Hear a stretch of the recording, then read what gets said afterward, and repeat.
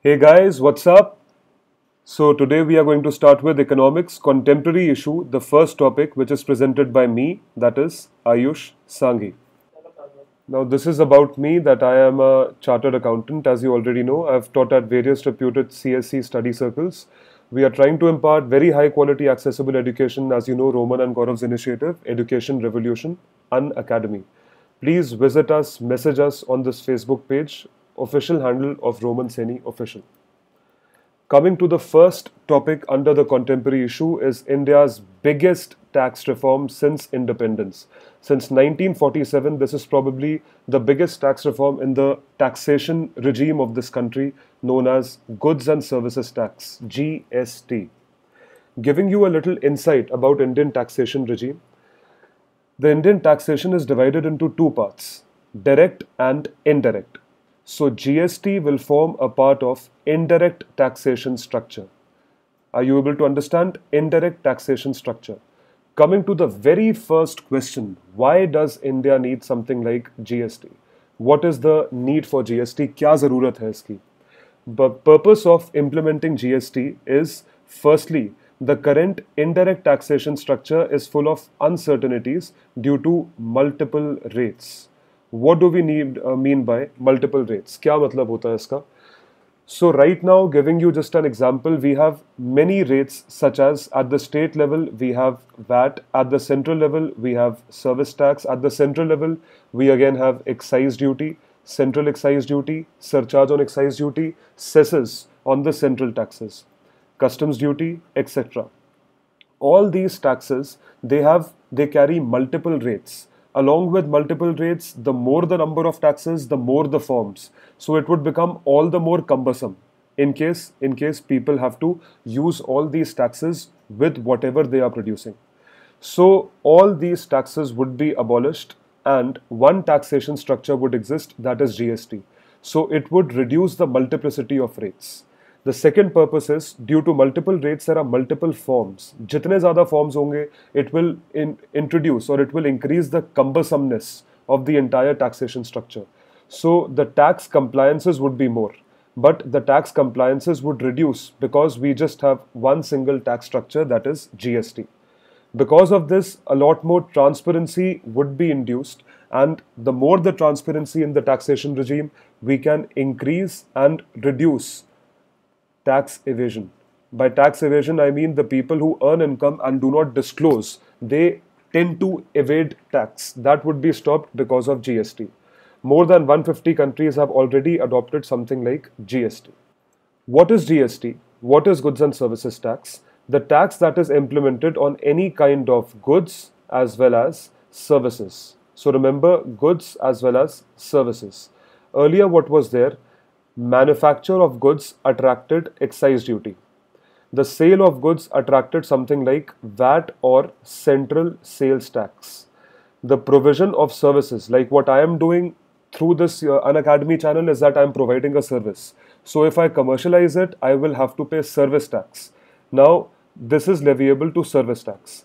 This entire thing would be subsumed within GST and GST can be defined as a consumption based tax which is levied when a consumer buys or consumes these goods and services. So please remember it's a consumption based tax. Whatever you will consume in terms of a service, a lawyer service, a teacher service, an architect service, or any kind of good. You purchase a laptop, you purchase a cold drink, you purchase anything, you are paying tax on it. So GST will subsume all for all forms of taxes and it was generally known as a consumption based tax the importance of Article 246A, as is written over here, and the transfer of power to states. So, why does the state government play an important role? State government, as per the state list, have one tax in their hands, and that is known as the value added tax. Central government has all other taxes such as central sales tax, excise duty, service tax, etc. Now, there will be a lot of resistance from the state government since VAT will be abolished as soon as GST is implemented. So, a need for a constitutional provision under Article 246A will transfer certain powers in the hands of state governments. So, let's see what it would state. The parliament and the legislature of every state, mind you, every single state of India will have the power to make laws with respect to goods and services tax imposed by the union or the state. So they would have the opportunity to chip in and to fix the taxation rates so that when VAT is abolished, they do not lose out on their revenue in terms of GST. So this is the importance of Article 246A. The taxes that will be replaced or as we are saying the taxes that will be subsumed when GST will be implemented. So implementation of GST would replace what kind of taxes? The taxes imposed by the union government. Union government, that is a central government. First tax, as, as I told you, is central excise duty. Second is additional excise duty, which is in addition to central excise duty. Third is service tax. Fourth is additional duty on customs, also known as CVD, countervailing duty, etc. All these duties will be subsumed except for something by the name of duty on customs. This is duty that is levied on any kind of import or duty on any kind of export. This is something that will continue to exist even after implementation of GST. I repeat, even after implementation of GST, the customs duty will continue to exist. All other duties, as we have mentioned over here, will be subsumed. So after implementation of GST, there will be GST rate and there will be customs duty rate. Now, the taxes imposed by state governments, First is VAT or sales tax. It will be it will be abolished. Octroi. This is known as chungi, chungi in Hindi, or entry tax. This will be replaced. Purchase tax or any kind of state cesses, surcharges, etc. Everything will be replaced, and one tax will exist. That is GST, goods and services tax. So you can see that all these taxes will finish off and one tax will be introduced, one single tax. So this will this would reduce the burden of the departments, the burden of the people who want to who wish to deposit this duty, who wish to collect this duty, all the forms that have to be filled up, all the date of returns that have to be complied with. So the entire compliance procedure in a country like India, which is fully heavily loaded with 125 crore Indians, would be reduced and it would and it would be much more effective if the single umbrella tax is implemented. Now, GST will be administered by this is a very welcome move and a very intelligent move by the India government by a GST council. A council that will comprise of the Union Finance Minister as its chairman, Union Minister of State in charge of Revenue or Finance, and Minister in charge of Finance or Taxation or any other minister, mind you, any other minister nominated by each state government. So you can see by each state government would constitute the council. So by including any minister by the state government that would necessarily or most probably be the finance minister of the state would also be a part of the GST council. So as you can see the state government's representation in the council is as much as the representation of the central government. So whatever decisions would be taken they would be highly democratic and they would they would result in the kind of spirit of our constitution will be maintained. So GST Council is a very welcome move. It will administer everything. So the objective of the GST Council is first that which central or state taxes would go in GST as we had just discussed in the previous slide. All the taxes such as central excise duty, VAT, sales tax, etc. would go in this. Ye decide karega GST Council. Second, which goods and services are subject to GST. So something like the items that are made of khadi are exempt in certain states. So they would they would specifically specify that which items will be leviable and which items would be exempt. And the other items that have particularly to be exempted are excluded. So that is in our next slide. Third is that at which rate and on which basis the GST will be decided. So there have been many rates that have been thrown out. Do not consider any of those rates unless there is an official announcement. One rate has been 16%, other has been 23%. Uske baad there has been a rate at the rate of 26%. So all are still proposed. There is no single rate that has been given officially by any of any of the ministry or any of the parliamentary committee. So do not go by any rate. This will be decided by the GST Council when the GST is implemented.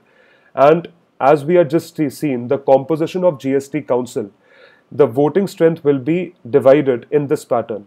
One third vote of the central government and two third of the state government. So you see that state government has more voting power and any resolution or any decision that has to be passed it needs at least 20 75% support 75% support from this entire council. So as you can see that it is highly democratic. Very welcome moved. It is highly democratic. There is also a provision of having a DSA or a dispute settlement authority.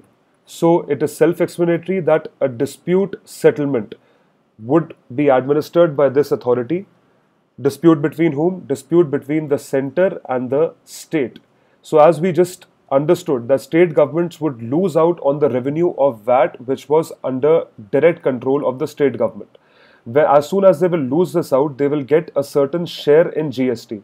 If they are not happy with their share in GST, so they can file a complaint with the DSA and the DSA would come out with with a resolution or with a with a solution in order to keep the state governments happy. So in addition to GST Council, another body that has been proposed is a DSA or a dispute settlement authority that would resolve disputes between the central and the state government.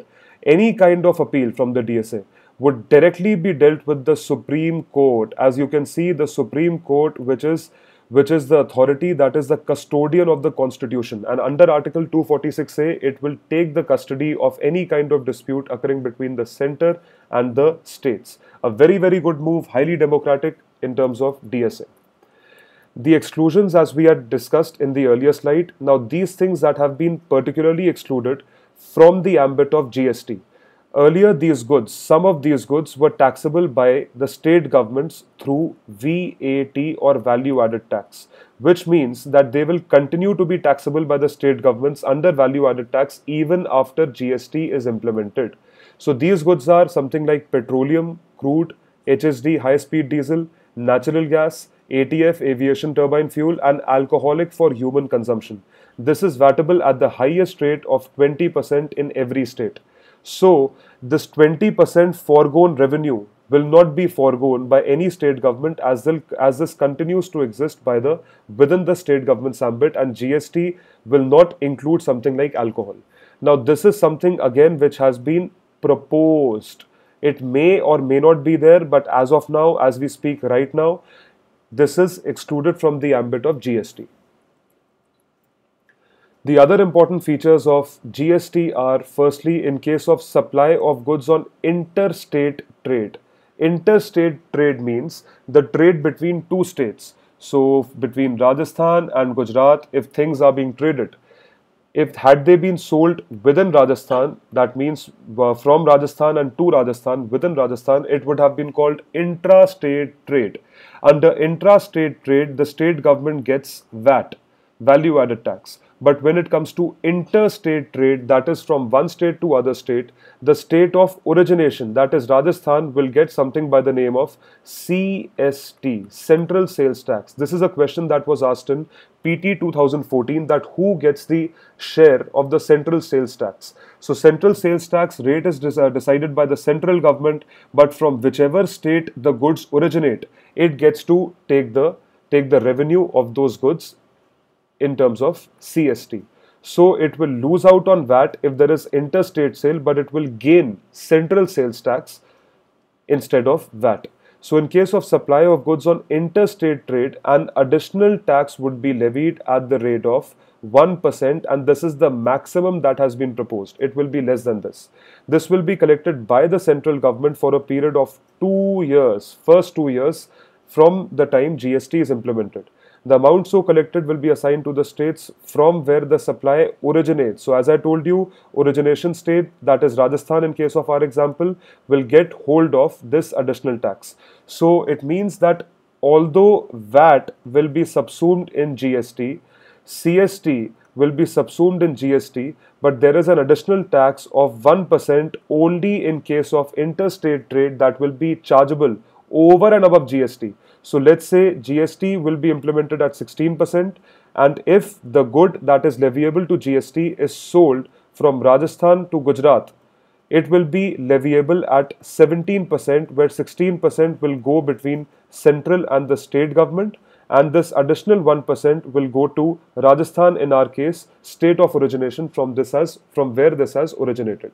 A very important feature only in order to maintain the satisfaction of the state governments at a high level the benefits that have been derived from implementing GST very very important topic. What are the benefits that have been derived from implementing gst the first benefit is that it is a single and unified rate a highly effective and efficient solution as a single rate will subsume all the multiple rates and it will simplify it will make it transparent. The entire indirect taxation structure for every person all the individuals all the companies especially the multinational corporations or the foreign companies. For them, if we have a single structure, it will improve our ranking in case of in case of ease of doing business in this country where our ranking had fallen last year. So a very welcome move to have a unified structure, the biggest advantage of GST.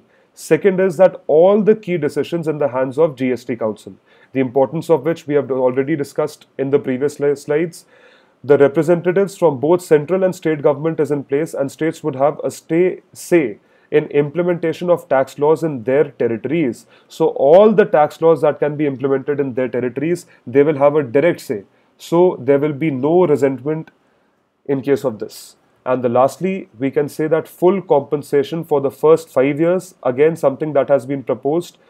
Let's see that this will be 5 years or 10 years in future the state governments for any kind of revenue loss. So if the state governments was charging VAT earlier that was coming entirely to it, it would lose out on VAT. So whatever will be the difference of losing out on VAT, that will be compensated by the central government after allocating them a certain share in the GST.